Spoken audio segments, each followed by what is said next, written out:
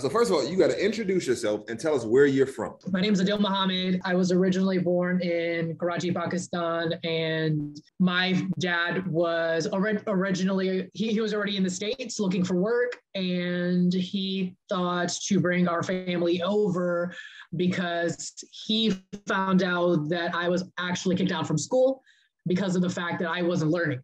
And the reason I wasn't learning is because I'm a very curious individual. Even the school in, in, the Christian school told me that I would not be able to speak a word of English. I am uncoachable. I am unteachable. And so they ultimately expelled me from school. And I just wasn't getting my curiosity met in any way, shape, or form. I would always ask why. So my dad's all right, there's no reason to stay here for any point at all. I'm already in the States, let's bring him here. So we moved to Orlando, Florida. And once again, I'm six years old. I don't know the country at all. I don't speak a word of English. I don't understand the culture. I don't understand anything, but you know, we start from scratch.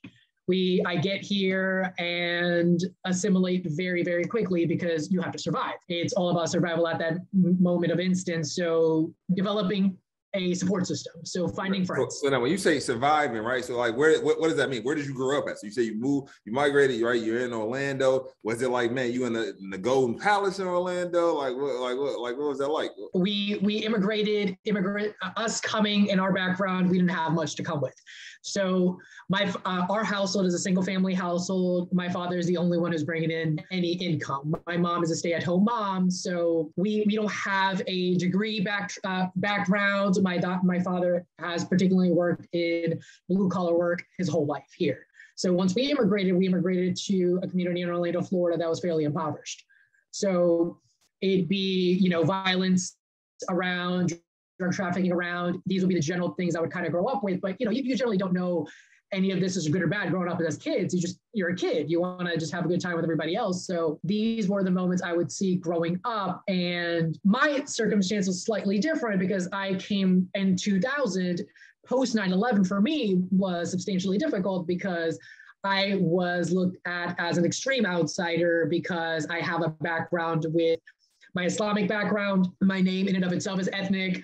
My appearance itself is differentiating from everything. I'm extremely ethnic. So all of these characteristics, I was always an outsider. I never really belonged.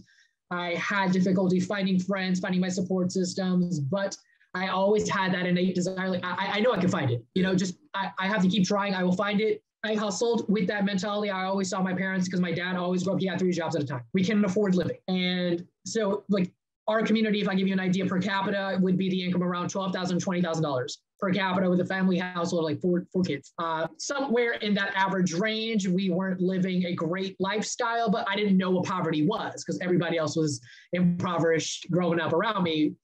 Uh, so that was a similar narrative growing up, but I, I, I adapted very quickly because I had to. It was it was that you have to survive mentality. So seeing my dad hustle with multiple jobs at a time, I did that in school. So I learned English very, very quickly. The areas that I struggled with, mathematics or writing, I would stay longer hours in tutoring. I may go through detention substantial amount of time because I'm still struggling. I still don't understand. I'm causing, uh, you know, riots in the class, whatever the case might be. But it's that constant desire to figure out where do I fit in this place and what's for me. So I did that in elementary school, did that in middle school. Yeah, so I got all the way up into high school. My, my GPA wasn't fantastic in any way, shape, or form because I didn't have the resources. I didn't know what the SAT was. I didn't know what the ACT was. I kind of, you know, got all the resources, all the pieces here and there. And I couldn't, our family could not afford me going to a university, for a university. So I got a part-time job. I saved up for community college. And there was the stigma around community colleges first and foremost, you know, not only in other communities, but me coming to the States, you have to go to a four-year university because my parents don't know any better. They haven't been to a university themselves. So I didn't take that general route. Uh, I didn't know about any of that in the first place. So I went to community college. I saved enough money, you know, my first two years. I got a scholarship. I was happy and grateful enough for that privilege. I got a scholarship and I paid for my first two years. The next two years weren't, uh, you know, weren't that exciting because I could not pay for that. I got, I had to take out loans. I went to the University of Florida, way more expensive to kind of go through, but it's still a public university. I could, it's still a little easier to play with. And after graduating from the University of Florida, I, I didn't know what my path would be. My whole goal in life was because all I saw in my community was my friends getting incarcerated, immigrants getting deported, and my natural thought process was like, I, I need to be an advocate. I need to protect my community. So looking at from where I came from and what we lacked in the community was advocates and leaders, my thought was, okay, let me see what law school is about. I like to have a conversation. I like to find solutions. I find problems and I'll find solutions with whatever those problems are. Law school makes that right path. Took that path uh, in law school. I once again struggled. I this is a brand new language for me. I've never been in this upper graduate degree pathway. I don't have any support systems. No one has done any of this in my family. And once again, it, it's a grind. You have to grind there. If you haven't been in the space, you absolutely have to grind. So I would get up at five, six in the morning, stay up at 12 at night, and we would repeat. I'd open the, I, I would be one of the earliest people at the library, and I'd be the last people to close the library. This was a constant thing and I graduated and got by, but I didn't realize what other things were affecting me. I realized I had depression, I had anxiety, and that would affect my test taking in school. I didn't know these were things because I thought everyone is struggling with this. Why do we talk about this? What's the need? Until I found out people in my cohort from lower income and you know marginalized backgrounds, they were struggling with the same thing. So we built a support system realized, all right, we can share these intricacies, we can share our experiences, and we can build the support system. And then I sought the support that I needed. So it was always this problem solving, even internally. I am struggling with this, but let's find the solution. This is this can't always be my problem for the rest of my life. We have to find a solution. And so for the past four years, I've been in the legal field. I graduated from law school in 2020. I sat for the bar come uh, three times, mind you. So once again, coming through that experience again, I uh, the pandemic hit in July uh, 2020. That was postponed until October. I was fighting with the state of California to get my accommodations, and I could not get it. And it was always this struggle of why can't I get what I need to be in a position to support my family, support my community, but I, I couldn't get that uh, this whole time period. Fast forward this last bar for the third bar that I took come July of this year, eventually got partial amount, took the bar, and then I kind of realized, all right, even if I do pass, I get my license, but what, what's the purpose now? Where, where am I sitting right now? Can I actually help my community? Can I help my family? First and foremost comes my family. So even if I get my license, economically speaking, I can't support them because I'll be working in the last four years, I've been working in public defense and immigration nonprofit work. Money's not coming in. So regardless, I'm going to be struggling. Yeah, I'm helping out a lot of great people, but I'm struggling. So at the end, like I, I can't really help out anybody. And I had to have that difficult conversation with my parents, had to have a difficult conversation with my friends. And we had that dialogue. I, I need to transition. What, what are the skills right now that I have? What is my natural personality? I find problems, I can solve them, and I can make things better for other people. Sales made that natural sense, and particularly sales and tech. And that's all generally what they kind they that field does. And once again, this is me coming from a very professional background and now transition into another background.